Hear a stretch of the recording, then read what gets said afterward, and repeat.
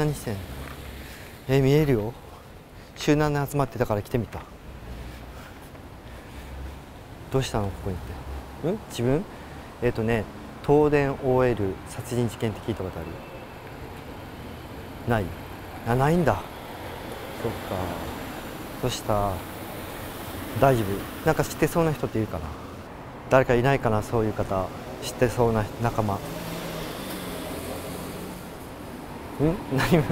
あげるものないけどな。ねどうしたのここにみんなでたむろして。あここでそうなんだ。えっ、と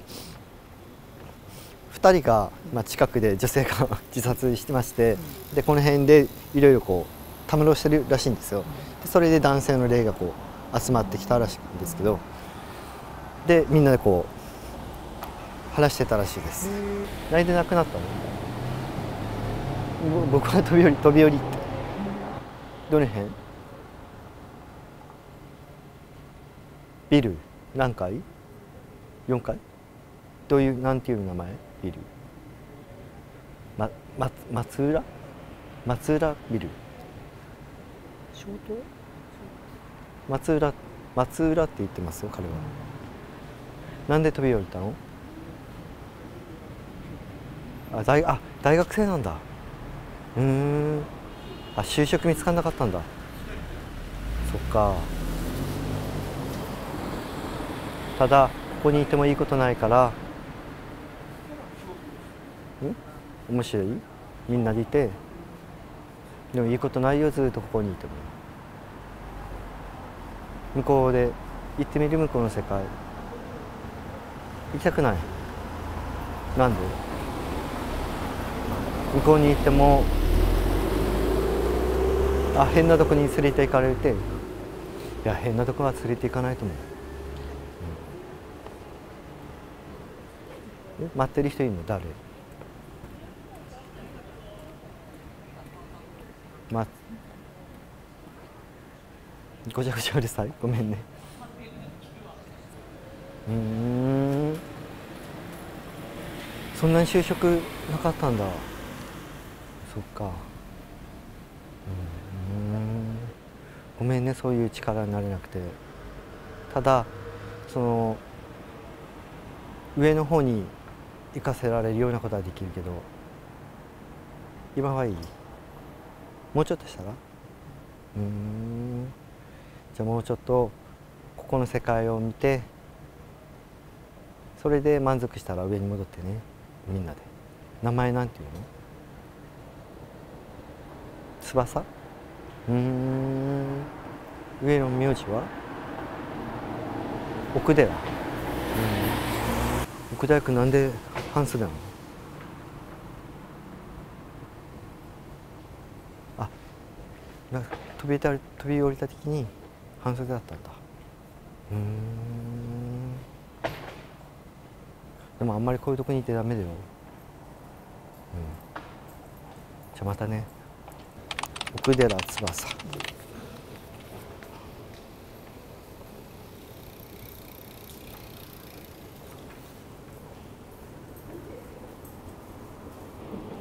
出ないですね。はい。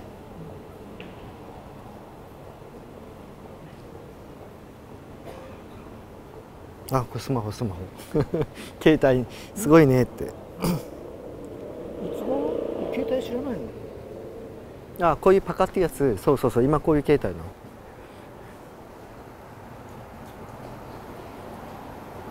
こうやって。パカパカじゃないんだよ。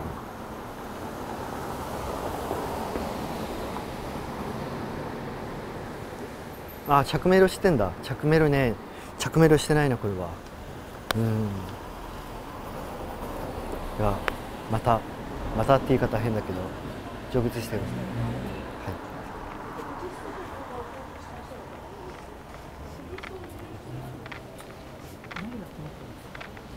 みんなでなんかいろいろこう会話をしてたらしいですよ友達と会話するような感じでそれでまあいろいろたくさん受けても受けてもまあ、試験は受かる、まあ、一次試験は受かるみたいなんですけど面接で失敗してたらしいんですよ。であの上京して今大学に通わせてもらってでその大学の資金をお家があんまりそのお金持ちではないらしくて結構苦労してる家系らしいんですよ。でも親にお金は出せないからねって言われてたプレッシャーもあってまあ飛び降りてしまっ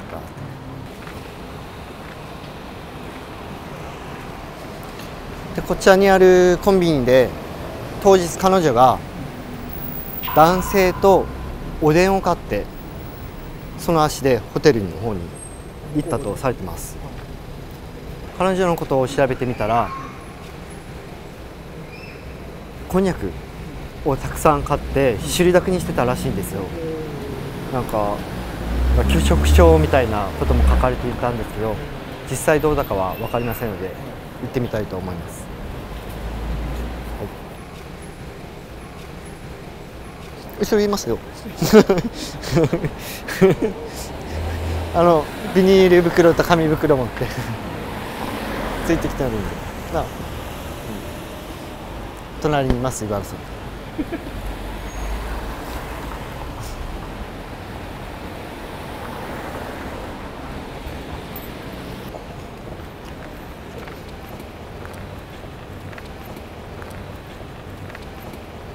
ま す全くしないですね。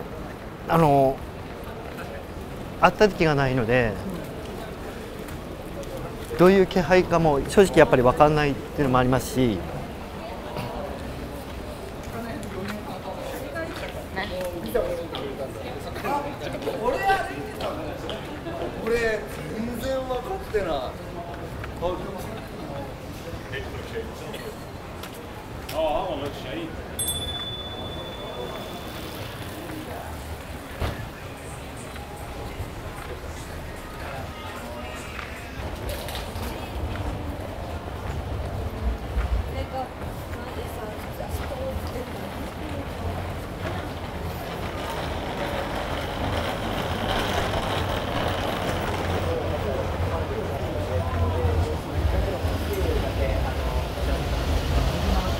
はい。あまりないんですよね。いないな。あ誰か。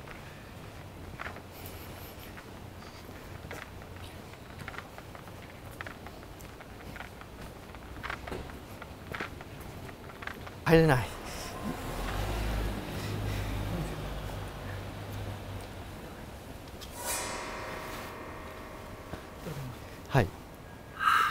女性がこっちこっち。おいで来て。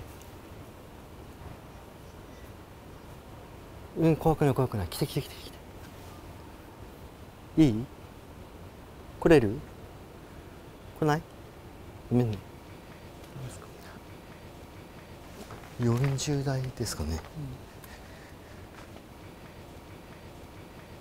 何もないですね。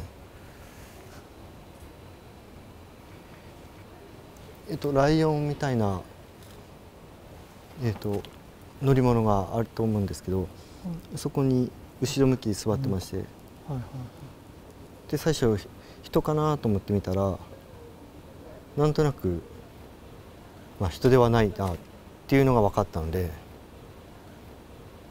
そうですね今入れないんで残念ですけど。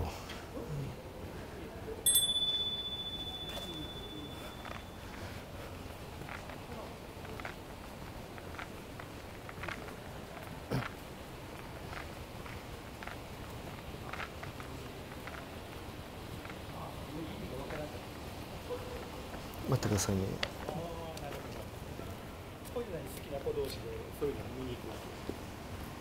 あすいません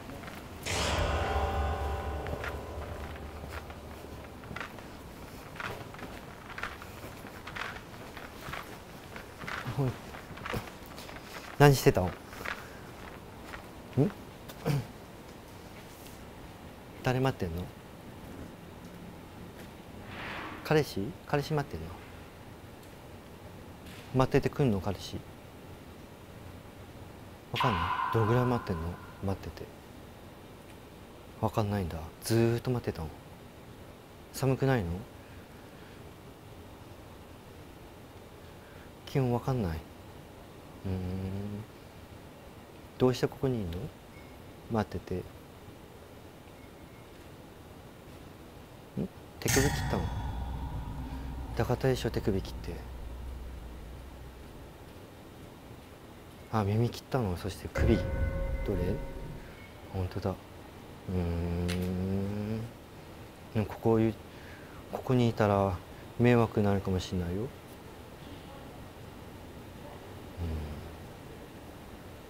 今痛くない？ちょっと痛い。そっか。えっと手首切ってその後ここバッて切った跡がありまして自分で切ったらしいです。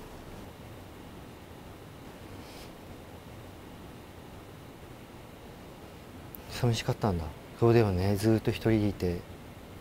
でも今日ね話せる人ちゃんと来たから大丈夫だよ。どこでそういうことしちゃったの近くのホテル？うん。ホテルの名前わかる？動画をご視聴いただきありがとうございます。東電 OL 殺人事件シリーズ。未解決事件ということもあり捜査は難航しております。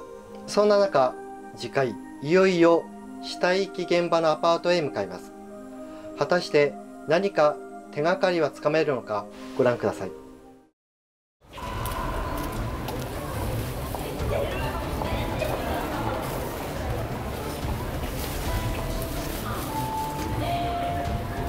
こですか？中に人気配がするんですよね。